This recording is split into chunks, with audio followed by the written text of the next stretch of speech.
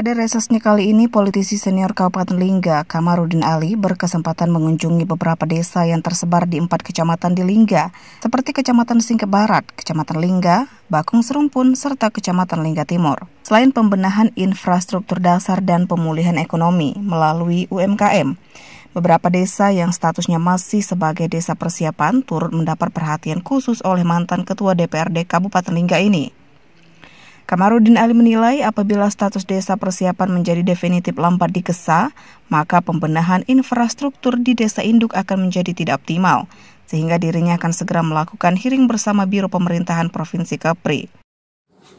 Apabila lambat kita mendefinitifkan desa persiapan bagi yang telah memenuhi syarat, maka ini persoalan yang pertama adalah menyangkut pembangunan desa itu sendiri.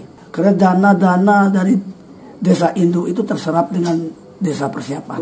Tidak ada peluang langkah kita untuk desa bisa membangun dengan sebaik-baiknya. Karena dana sudah terbagi dua antara desa persiapan dengan desa induk. Dan ini menjadi perjuangan kami dari Komisi 1. Kita akan panggil, kita akan hearing kawan-kawan di Biro Pemerintahan. Sejauh mana perkembangan, sejauh mana proses tentang mendefinitifkan desa-desa persiapan.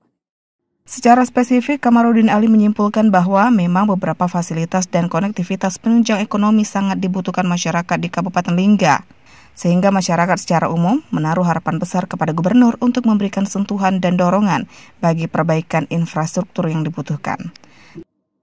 Anjung Pinang TV melaporkan dari Lingga.